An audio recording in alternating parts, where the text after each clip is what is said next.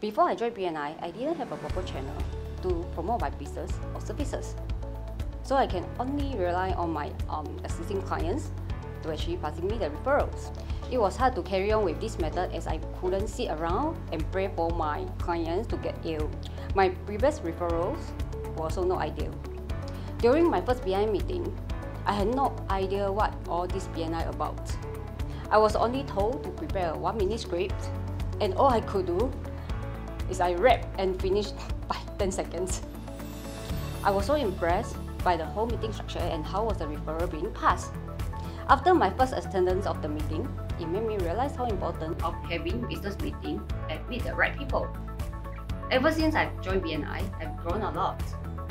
My growth is not only in my business, it also taught me how to be a trustworthy business partner and the importance of building relationship between each member and speaking confidently in general. The greatest takeaway for me will be learning how personal growth will lead to business growth.